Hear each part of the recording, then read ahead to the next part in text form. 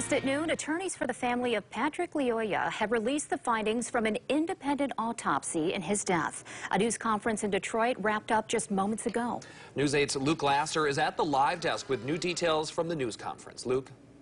The legal team wanted to make one thing clear. Patrick Lyoya was shot in the back of the head, according to their independent autopsy report.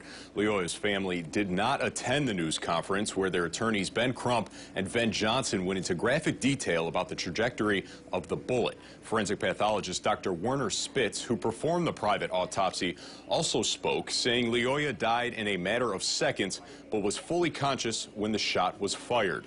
He said there were no other injuries or signs of struggle on Lyoya's body. While they did not test for toxicology, they're confident the investigation by state police will include those results. In order to uh, to um, and to visualize this, uh, I uh, made a hole in the back uh, with a drill.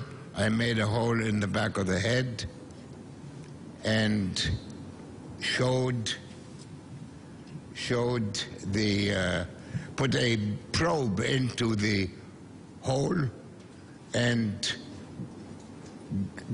guided the probe from the back here where you can see the probe going into the back of the head and out in the right side up, up a little higher than the entrance wound. Well, I call it a deadly execution because I believe that it was so unnecessary.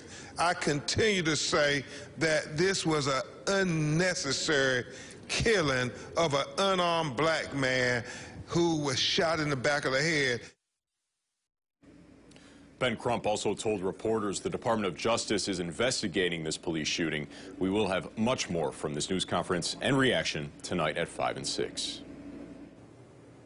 We will continue to bring you any new developments with this case. Stay with our continuing coverage on air and online at woodtv.com.